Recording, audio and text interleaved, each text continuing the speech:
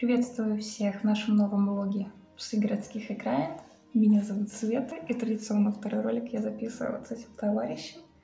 Очень сонный, такое чувство, что нас завели какого-то деда, потому что он храпит, сопит, кряхтит, когда ему что-то не нравится, и стоят всяческие такие чисто старческие, дедовские звуки. Поэтому, думаю, вы будете не против, если он будет немножко тут лежать у меня на коленках и посапывать. Но в этом ролике, прежде чем начать говорить о важной и самой главной теме, вынесенной в заголовок, я хотела бы поделиться достаточно радостной новостью.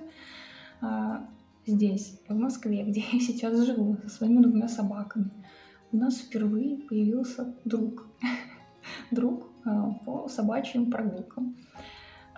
Для меня это на самом деле большая радость, потому что очень долгое время, ну около года, сколько я здесь живу, у нас не было здесь друзей, вот, с которыми мы могли пообщаться, понюхаться, погулять, поиграть, а, как-то социализировать Люсика и так далее, и просто пообщаться с другими собачниками, несмотря на то, что здесь очень много собак, очень много собачников.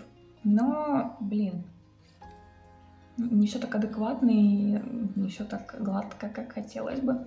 Как, например, было у нас в Костроме, как было в Подмосковье, где я жила раньше, там у нас огромное количество друзей. Да вообще все друг друга знают, и все друг с другом как-то гуляют, было очень прикольно. Но здесь что-то мы вот очень давно ходили в одиночку, поэтому это очень, это очень большая и хорошая новость для нас сегодня, поэтому можете вас поздравить. И сегодня я хочу поговорить о таком моменте. Он, кстати, непосредственно, наверное, будет соприкасаться с предыдущей темой которую я освещала в предыдущем видео. Не забудьте зайти вот по ссылочке где-нибудь сверху, посмотреть этот ролик и обязательно оставить свое мнение. Мне будет интересно узнать, что вы обо всем этом думаете. Так, если вы заводите собаку, если вы, например, мечтаете завести собаку или, быть может, там вторую, то вы наверняка учитываете какие-то минусы и плюсы, которые будут сопровождать вас в течение вашей жизни с животным. И если вы думаете, что самым большим недостатком содержания животного является его недолгий век, я скажу так, что да, конечно, это все очень неприятно, это очень больно, и ну, все равно, если вы заводите животное, вы отдаете себе отчет в том, что это не навсегда, что рано или поздно придет тот момент, когда с ним придется попрощаться. Но в таком случае главную боль вызывает не сам уход животного, а вот именно та самая боль, которая с вами останется. Страшен не сам уход, не потеря, а то, что переживаете очень сильную боль. И сколько она продлится, неизвестно. И вот, наверное, вот это пугает. Но в этом видео я поговорю о более насущных и практичных вещах, которые будут сопровождать вас в течение всей жизни а, вашей собаки и ваших повседневных будней. Это большой недостаток, но также это очень большое преимущество, смотря с какой стороны рассматривать. Но в любом случае никогда не будет все с таким, знаете, перекосом в ту или иную сторону. Я говорю о том, что когда вы заводите собаку, вы заводите новые отношения с социумом, новые отношения с людьми, и вы узнаете свой город, свой район совершенно другой стороны. Люсика, пощупай. А, в этом нет ничего страшного, но к этому нужно быть, несомненно, всегда готовым. Потому что многие думают, в том числе и я, что если я завела собаку, а я как жуткий интроверт, любящий природу, прогулки в одиночестве, то со мной будет только моя собака, вот ты и я думаю с тобой, и мой маленький друг, с которым мы будем гулять, путешествовать, и никакие люди другие нам просто не нужны. Так вот, это очень-очень большая ошибка, потому что когда вы заводите собаку, вы так или иначе будете взаимодействовать с другими людьми и с обществом гораздо чаще и больше, чем раньше. Как бы вам этого не хотелось, ну вот так. Как минимум в первый год жизни, в первый год взросления вашего щенка. Потом, конечно, когда вы будете гулять там 2-3 раза в день, ну, эти контакты немножко сократятся, тем более ваша собака будет уже более воспитанной, более взрослой, но все равно. А, это не снимает вот эту вот ответственность, которую вы взваливаете осознанно на свои плечи. И начнем, наверное, все-таки с некоторых плюсов, что, что круто. Вы начинаете узнавать людей с другой стороны, особенно если это какие-нибудь прикольные а, такие же собачники, как вы, любящие животных, любящие прогулки. Это действительно здорово. моя Линда помогла мне завести знакомство с новыми, очень приятными людьми. Это достаточно удивительно, потому что я не из тех людей, которые легко заводят там. Я же не говорю о дружбе, но просто какие-то знакомства. Никогда первое не иду на контакт. Ну, если ко мне человек подойдет и доброжелательно что-нибудь скажет, я обязательно отвечу. То есть я в этом плане совершенно открыта для диалога. Но вот так, что прям идти знакомиться.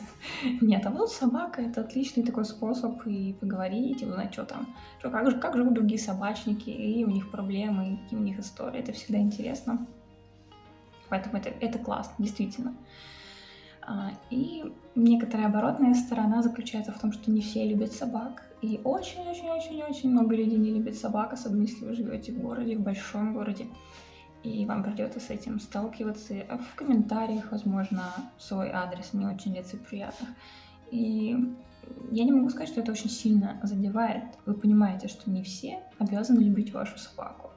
Но ведь и не все обязаны любить ваших детей, например. Не все обязаны восхищаться вашим ребенком или вашим автомобилем, вашим каким-то хобби, не знаю. Если у вас есть мнение, и вам там не нравится чужой ребенок, ну, вы не обязаны говорить об этом, там, типа, крикливый слишком или матом ругается. Ну, оставьте это мнение при себе, и все. Ну, родители ведь не виноваты. То же самое в отношении собачек. Да, конечно, большинство людей говорят, что там собаки кусают, а собаки гадят. Если вы не убираетесь со своим питомцем, если вы позволяете ему лаять на других людей, там, на собак, и не воспитываете его, не пытаетесь как-то устранить нежелательное поведение, то ну, в той или иной степени, да, негативные комментарии абсолютно оправданы. А, нужно просто, просто постараться поработать над собой и принять ответственность над своим животным. Как бы это и все. Вот. И еще также следующий момент заключается в столкновении постоянно, в постоянных контактах с другими собаками и их хозяевами. Поверьте, не все так радужно. Если вы думаете, что если у человека есть собака, он вас поймет как миленький, то нет. Среди собачников традиционно существует просто извечная борьба, битва кланов, и никто не знает, когда она началась, как, не знаю, столкновение Ромео кланов Капулетти и как Монтекки. никто не знает причины, но все длится по сей день.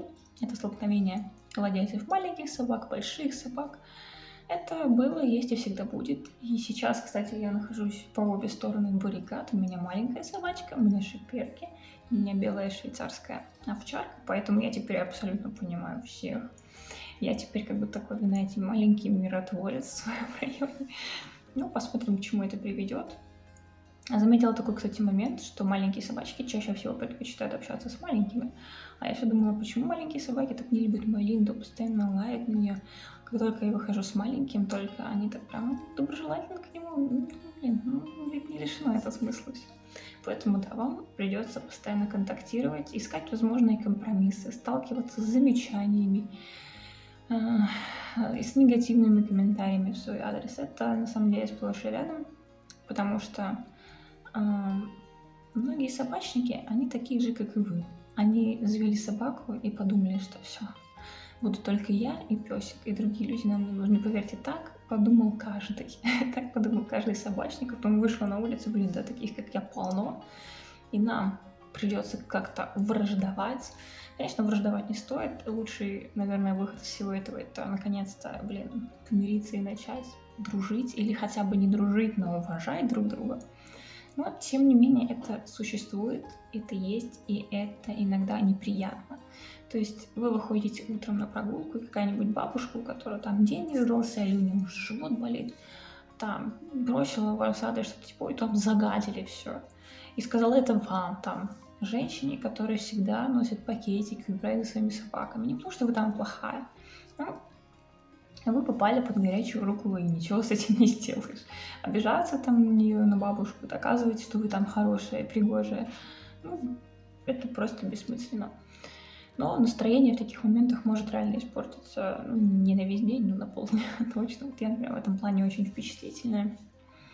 Поэтому приходится с этим как-то жить. Поэтому, друзья, в заключении, подводя итог своему монологу, я, конечно же, призываю вас к разумности, к ответственности за своих животных, а, потому что вам так или иначе придется сотрудничать с людьми, которые вас окружают, с соседями, и не все из них ангелы, не все из них такие чуткие, все понимающие, тактичные люди.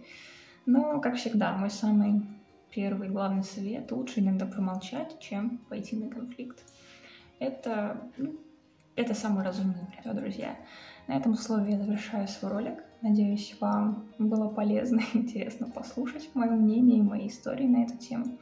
Если вам есть что сказать по теме видео, обязательно пишите в комментариях. Не забывайте заходить в наш инстаграм, а также читать мой авторский блог на Дзене, который называется точно так же, как и этот блог «Псы городских окраин».